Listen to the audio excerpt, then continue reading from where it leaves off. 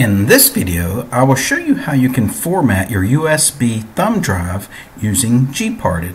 Now the operating system I'm using is Ubuntu Mate 18.04 and I'm on a laptop. This will, should work for other Linux distributions that have gparted installed. Now if gparted is not installed with your operating system, you can look below the video on YouTube and I'll have the instructions for installing gparted and I'll have a link to my website so that you can look at illustrated pictures or images on how to install it if you can't follow along or can't remember stuff from this video. Now before I get started, I do have a 4 gig thumb drive plugged into my USB of my laptop. But before I open up gparted, I want to show you the devices. I have one internal hard drive, which my Ubuntu Mate 18.04 is installed, and I have my other files and folders as you see here.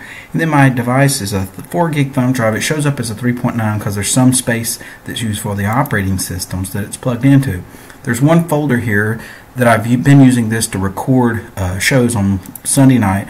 There's some old EastEnder programs that I will get rid of by reformatting this thumb drive.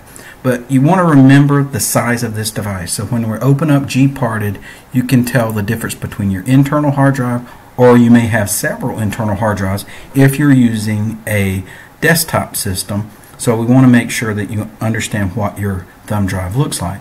Now we're going to open gparted. It's in the system tools and the name is gparted. You want to enter your password and after you enter your password you click authenticate and that will open up your gparted program. It will scan and this is the information from my hard drive. Remember when I opened up my uh, file manager, Caja file manager, my big hard drive, which is Tommy, as you can see here, is 241.7 gigabytes free and the 3.9 which is my 4 gigabyte. So I don't want to format my internal hard drive. I want to format my thumb drive. So I close this. So to change from my internal hard drive to my thumb drive you've got to make sure first you put it in your thumb drive uh, slot before you access gparted if not close gparted put in your thumb drive make sure it's recognized and then open up gparted put your password. But click the drop down here and as you can see here, this is a 298 gig. That's the internal hard drive in my laptop. Here's the thumb drive, the 3.6. Is This is important. If you accidentally select the wrong hard drive or drive, you could actually format the wrong drive and wipe off everything off your system. So be very careful.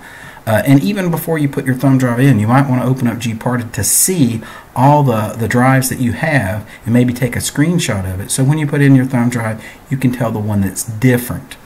So you click on the thumb drive, and as you can see here, it's almost full because it has a, a couple of EastEnder programs that I recorded late Sunday nights.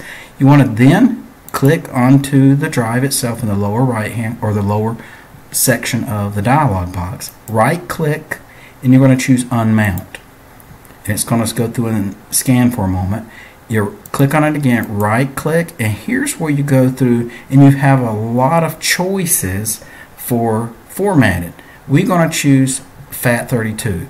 As you can see here, the last time it was formatted, it was an NTFS. It was formatted on a Windows system uh, with the typical Windows format. That's the type that Windows uses. Now, we could go back to it, and that would work on Linux and it would work on Windows. But if you try to put this thumb drive in a uh, machine, an iMac machine, it might cause problems and wouldn't be able to read it. Your FAT32 is your most common type format for thumb drives or USB drives. There are limitations, but this video is not to get in the difference between all the different ways that you can format your drive. So we're going to select FAT32 because that's the common format for USB drives.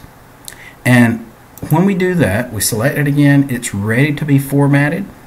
When you're ready to format, you click the green check that says apply all operations and it says are you sure you want to apply the pending operations uh, editing partitions has the potential to cause loss of data.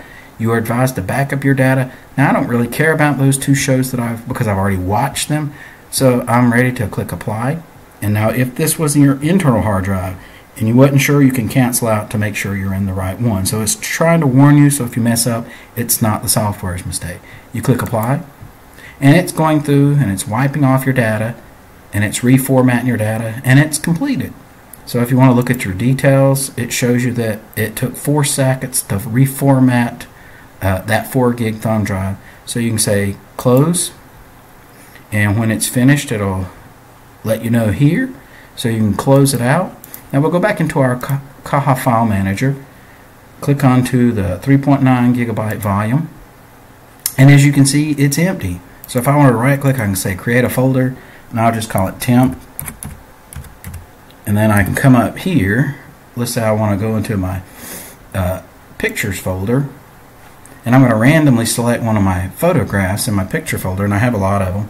Let's say that I pick up this Christmas background wallpaper. So I copy it, go back to my thumb drive, put it in my temp folder, paste it.